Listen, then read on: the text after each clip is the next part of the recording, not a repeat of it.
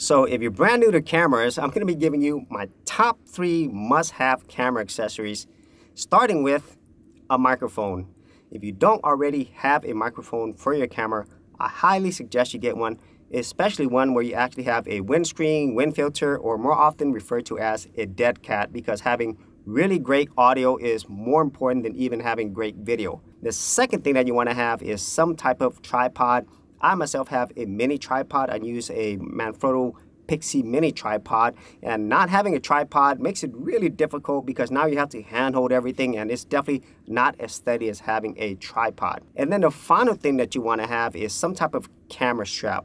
Not only is it a lot more convenient and comfortable, but it's also protection because whenever you're buying a real camera, you're getting all these lenses and accessories, it could cost a lot of money and the easiest way to protect your investment is by having a camera strap.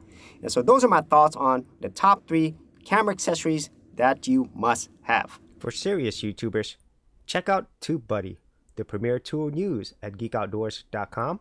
Get more done today by checking out the affiliate link in the description area below.